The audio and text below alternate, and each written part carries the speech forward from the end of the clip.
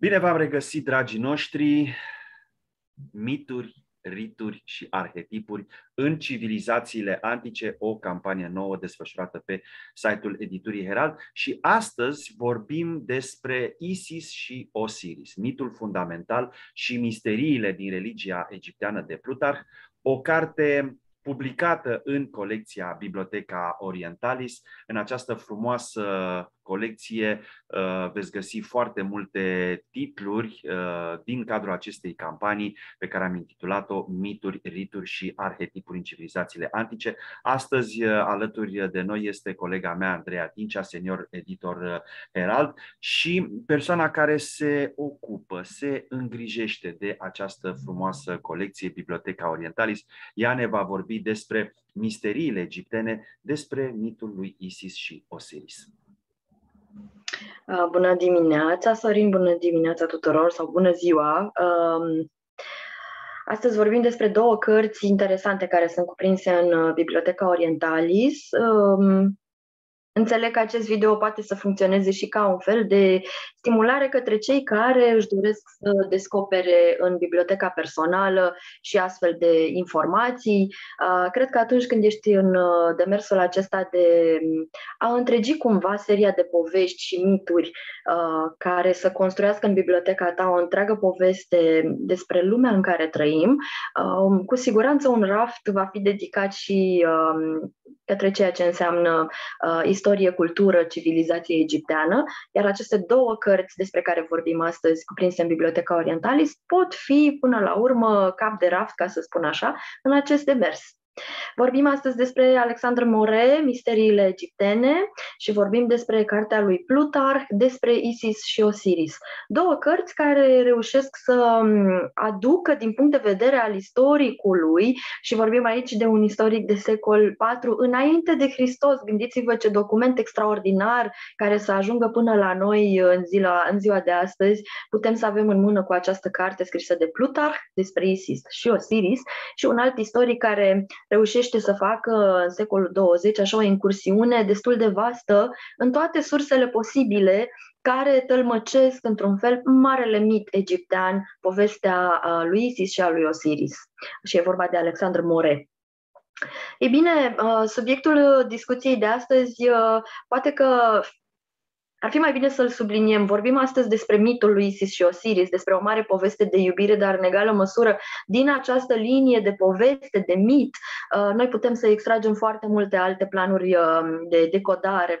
Pe de o parte o să întâlnim aici și arhetipul unui feminin care este blând și iubitor, dar în egală măsură răzbunător și luptător pentru adevărul pe care îl ține în inimă. Vorbim despre uh, un arhetip feminin care luptă pentru întregirea și vindecarea uh, propriului partener, propriului soț, arhetipul masculin și asta pentru a putea să genereze o continuitate în modul în care este coordonat uh, regatul pe ea ea îl, um, îl conduce ca și regină alături de soțul său Osiris.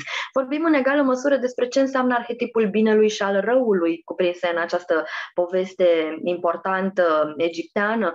Vorbim despre ritualuri cuprinse în această poveste sub formă de alegorie și vorbim uh, și despre alinierea cu ritmul naturii, totul fiind cuprins într-o singură poveste, această poveste uh, a lui Isis și a lui Osiris.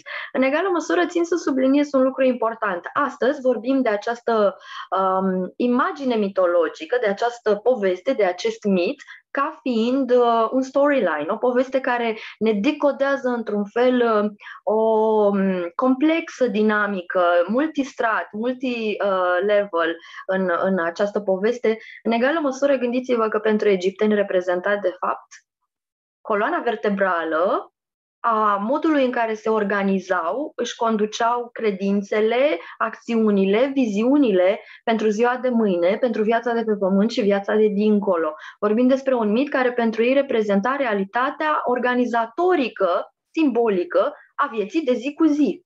Chiar dacă astăzi uh, pentru noi uh, reprezintă doar o poveste, un mit atât de dens și plin de sensuri. Um, și din acest punct de vedere, haideți să decodăm puțin uh, ce veți găsi în cele două cărți, care fac un pachet extraordinar împreună. Um, uh, cele două cărți susțin și mi-am notat câteva idei pe care vreau să le împărtășesc. Susțin, uh, în primul rând, din punct de vedere istoric, uh, tot ceea ce este scris în ele. Atât Alexandru More cât și Plutarh fac apel la izvoare istorice dinaintea lor sau contemporane cu ei, compară idei și teorii uh, și fac o incursiune, pe de-o parte Plutarh, cum spuneam, în secolul IV înainte de Hristos, cu tot ceea ce s-a scris și se cunoștea în acel moment despre mitul Isis și Osiris și despre civilizația egipteană, iar Alexandru More, secolul 20, iată o muncă și mai vastă de a corobora toate teoriile și marile priveliști, marile decodări asupra acestui mit. Uh, pentru amândoi, și o să găsiți foarte multe similarități și um, întâlniri uh, teoretice între cele două, între cei doi autori în cărțile lor, marele mister despre care se vorbește în acest mit al lui Isis și Osiris este cel al conștiinței umane. Deși suntem obișnuiți să credem că povestea lui Isis și Osiris este prima și, sau una dintre cele mai vechi povești de dragoste din lume, de fapt, pentru cei doi istorici uh, se decodează pe mai multe planuri, cel mai înalt și profund dintre acestea fiind, de fapt, marele mister al conștiinței umane. Drama sacră, cum o numesc uh, atât uh, Plutarh cât și Alexandru More, mm, și aici se vorbește cumva despre natura existenței, despre mișcările vieții umane și a inefabil, ale inefabilului, despre delimitările uh, rolurilor, funcțiilor, modurilor, felurilor în care viața umană se contractă și se expansionează, se strânge, se limitează și se exprimă în viața de zi cu zi, despre ritmurile intrinsece ale modului în care ființa umană um, își înțelege propria natură și în egală măsură transcende propria natură către marele, uh, marele necunoscut, marele inefabil. Um, Misterul este o funcție care ține de întregirea ființei, spun cei doi autori, fiecare în felul său în, în cele două cărți. Um, este o funcție care ține de sentimentul profund al întregirii. Și aici um, această idee interesantă se decodează în sensul în care Întregirea ființei înseamnă, în primul rând, parcursul de devenire al ființei umane. Și în mitul lui Isis și Osiris o să vedeți căi ale eroinei, modul în care Isis parcurge uh, ca ființă divină, fică a marilor forțe ale naturii care au generat creația uh, pământeană, da, existența pe pământ, um, devine în cele din urmă soție iubitoare, devine regină, cea său Osiris um, sunt aici pentru a susține în lumină și în, uh, în bine tot ceea ce înseamnă creația pe pământ, ca antiteză cu cel de-al doilea cuplu regal pe care îl găsiți în această poveste. Este vorba despre uh, Set și soția sa, care reprezentau probabil, uh, am putea să spunem, uh, cuplul uh, întunecat, regii uh, și regele și regina cea, cea rea. Um, în egală măsură, în povestea lui Isis și a lui Osiris o să descoperiți uh, moduri în care se vorbește despre devenirea uh, femeii ca femeie, despre suferința și patimile prin care o femeie ajunge să devină vindecătoare, despre lupta feminină de a deține uh, controlul asupra modului în care lumina se manifestă în lume, despre a deține uh, echilibrul în ritmul naturii, astfel încât oamenii să poată să aibă acces la resursele vitale și o să descoperiți în povestea aceasta, uh, atât în cuvintele lui Plutarh cât și ale lui Alexandru More, aceste puncte de reper. Natura este întotdeauna infuzată și este o responsabilitate în mâinile uh, reginei și ale regelui uh, ca ei să dețină echilibrul sau să păstreze echilibrul naturii pentru ca oamenilor să le fie bine și să existe această ordine în univers.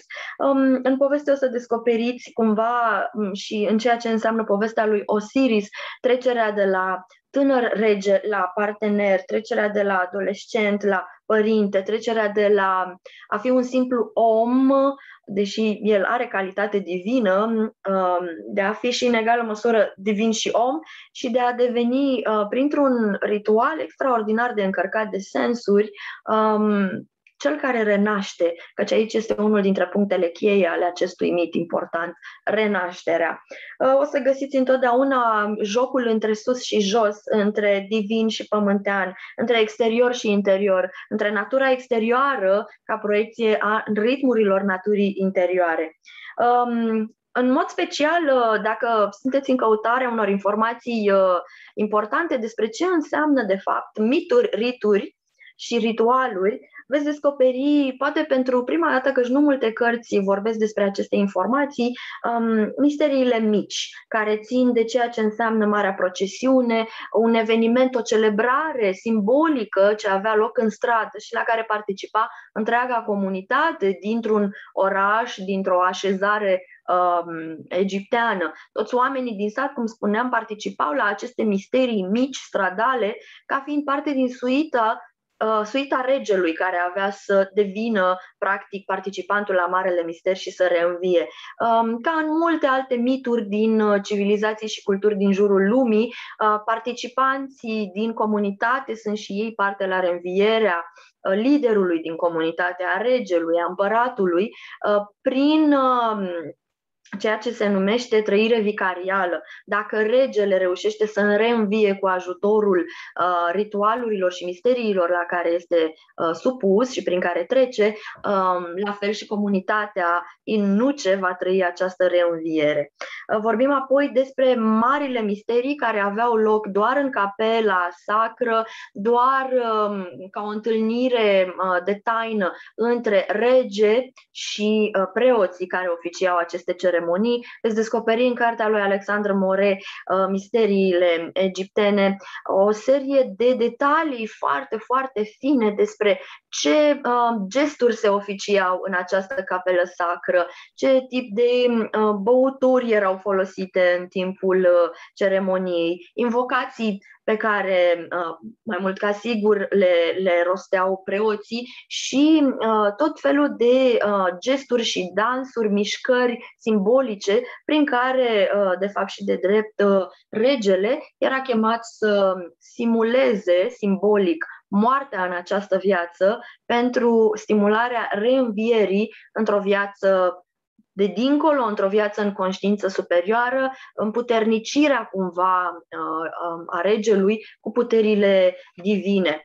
Uh, țin să mai menționez că un alt reper important în cele două cărți despre povestea lui Isis și Osiris este această împărțire în povestea patimilor trăite de Isis, în căutarea părților trupești ale soțului, adunarea acestor părți, întregirea fizică a soțului, um, iubirea ei vindecătoare care reușește să-l readucă la viață și, bineînțeles, trăirea învierii de către Osiris. Și vorbim aici de drama sacră, de liturgia dramatică prin care, um, aparent ca o piesă de teatru, toată lumea era invitată, atât regii cât și comunitatea, să retrăiască de fapt această poveste atât a lui Isis cât și a lui Osiris spre învierea în viața de apoi a tuturor celor care participau.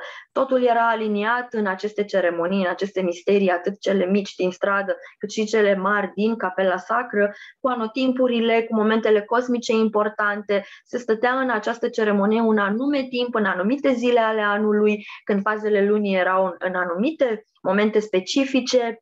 Um, întotdeauna lucrurile erau aliniate atât cu echinocțiu, solstițiu, eclipse. Cumva natura era prezentă din tot acest uh, teatru dramatic, simbolic, la care toată lumea participa.